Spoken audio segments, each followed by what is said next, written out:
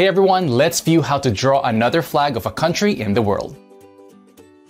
Iraq